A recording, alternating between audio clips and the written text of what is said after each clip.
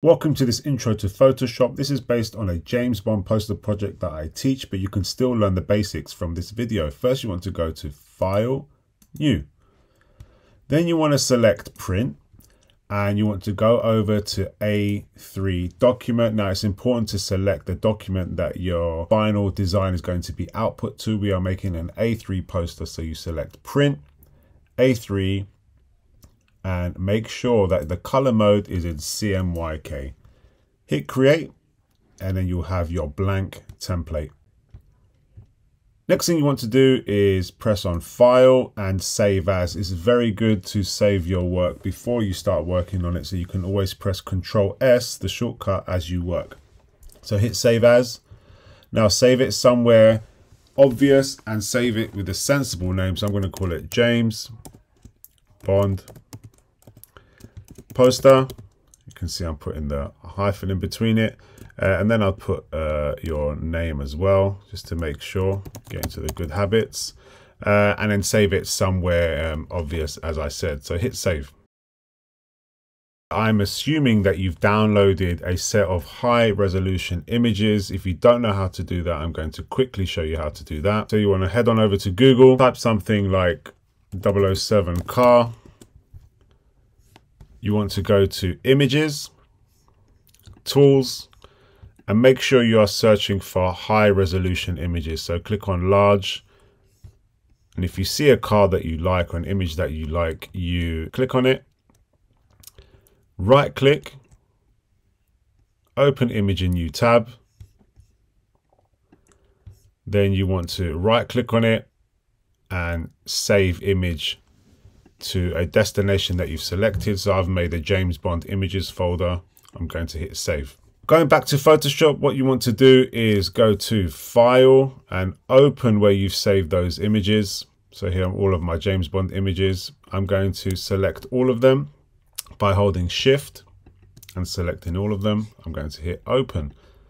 Now these all open in their separate tabs. So what you want to do is open up your tab. You need to click and drag on the image, go to the James Bond poster and then let go. And then your images should appear. So you want to go through all of the images through all of the tabs, drag and drop your image. So I'm going to let go of my mouse button there, close that tab, move on to the next one. You can also click on the layer here if you prefer let go and that appears too. Both work, so choose your preference. So you can click and drag from here, or you can click and drag from the actual layer here. Click and then let go of your mouse. Okay, now the basics are as follows. You can see all of the layers uh, that I've copied in order. Uh, layer 5 is the one that's on top, that's visible, and you can see that layer 1, the first one that I copied across, is, is at the bottom. So what I would like you to do is get familiar with the visibility icon. So it looks like an eyeball, and you can turn off and turn on those layers depending what you are working on. You can also reshift the layers to the order that you want. Remember that the top layer is the one that appears at the top of these uh, layers here. It's the one that you're going to see at the top. And the one at the bottom is furthest to the back. I'm going to work on the James Bond image now, so I'm going to turn off all the other layers while I work on that. So in Photoshop, you want to make sure that Auto Select is on and Show Transform Controls is on. That means when you select an image, you get these uh, icons around it. You can resize the image you can rotate the image. So I want you to try rotating, resizing.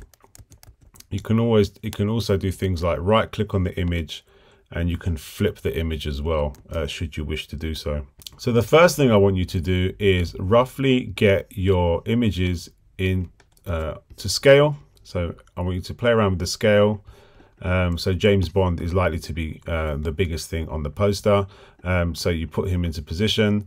Uh, and then what I might do now is uh, put his car uh, just in front of him here. So you can see it's behind him at the moment. So I'm going to click and drag the layer and put him above. now I've shown you in a previous video, I'll put the link in the description below. Now let's work on the James Bond layer first. To remove the background, you want to go to the Magic Wand tool, select subject. Now um, Photoshop will automatically detect that there's a human in the image and, and uh, select the subject.